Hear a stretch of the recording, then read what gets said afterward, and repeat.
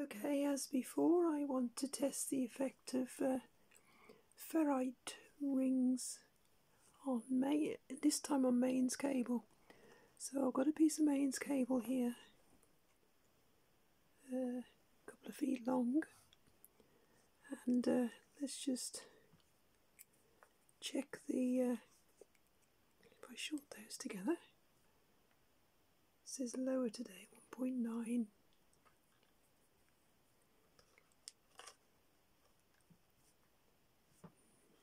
It's a bit variable.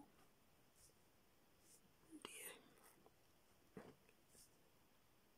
Well, anyway, let's say 1.9.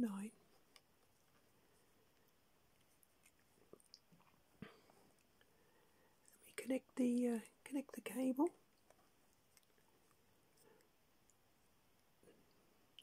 3.5, 3.6. Now, I have some of these packets of ferrites, different sizes, from the tiny ones through. Uh, oh dear, that's broken. It's a good start. That size and the big ones. We don't. We don't want the little ones. But these these might be useful. So let's take this size and stick it on the cable.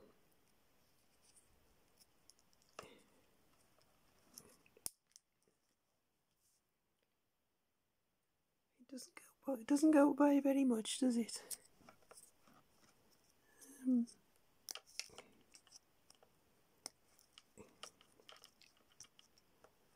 that was a peak to get off again. So we'll try the next size up, slightly bigger one.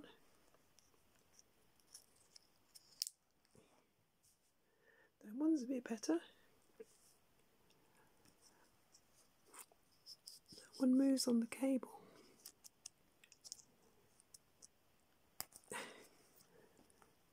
And uh, let's try a really big one.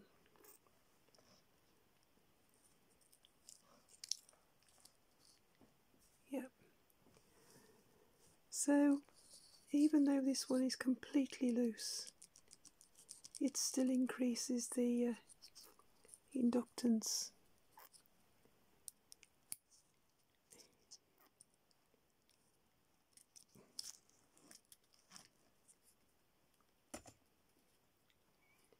And uh, we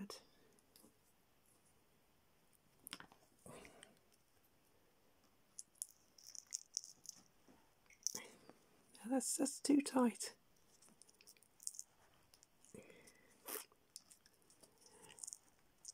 That won't fit. How about this one?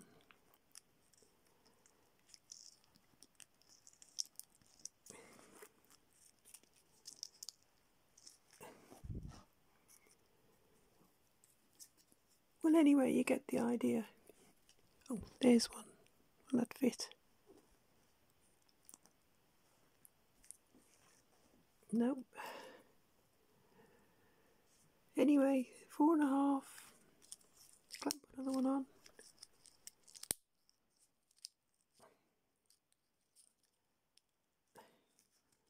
Not the easiest things to use, are they? These.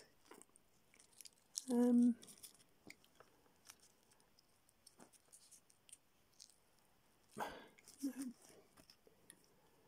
In fact, they're pretty flipping useless. Cheap Chinese tat. There you go. That's two. Can we get this other one to fit?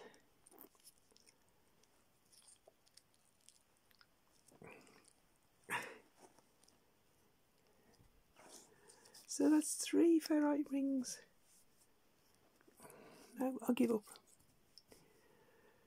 So five micro henries with the three ring with two rings on.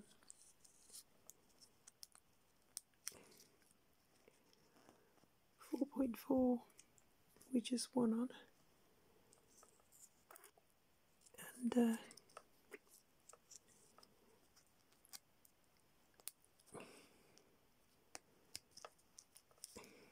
three point three. So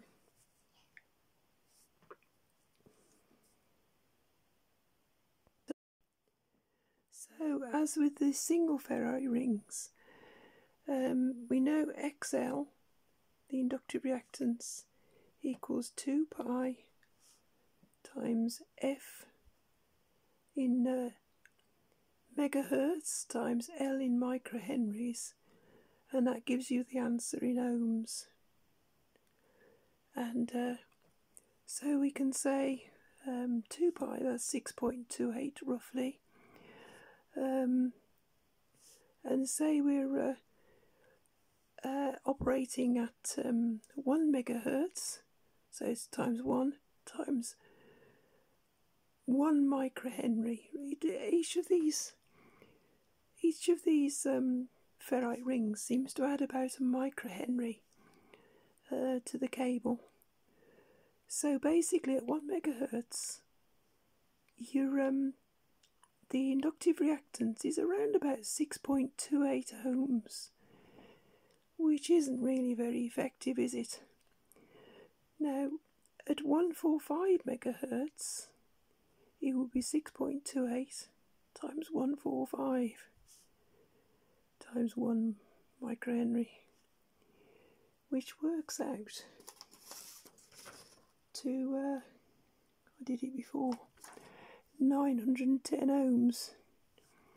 Now that is much more useful um, basically 910 ohms in series with your cable is going to put quite a block on any interference that wants to come out of the equipment or anything that wants to go into the equipment. Um, at 30 megahertz, it would be 6.28 times 30 times 1 microhenry um, which works out to, I think, about 188 ohms. Which, am I right on that? Um, yeah, that's right.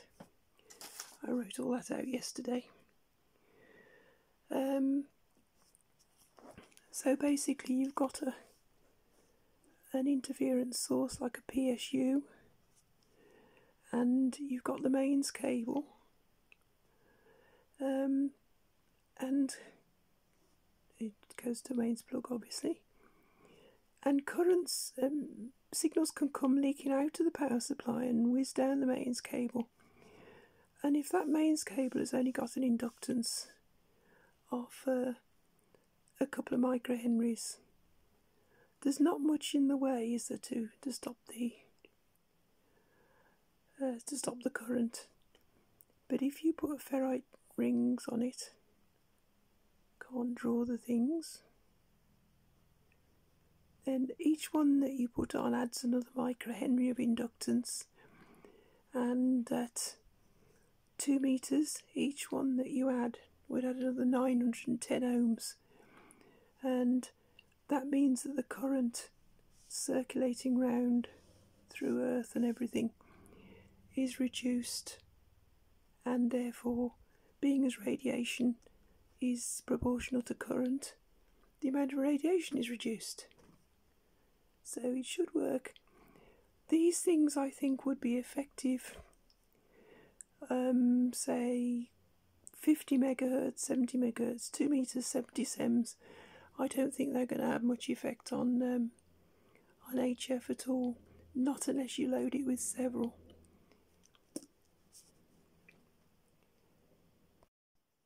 And two more points on this.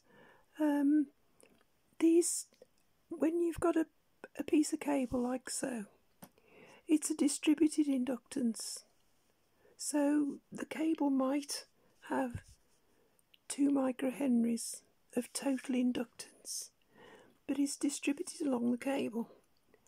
Now, when you add these beads, these ferrite rings, uh, the clamp type or whatever, they concentrate all the inductance in one place like that. They add an extra microhenry, which doesn't sound much, but it's all in the one place.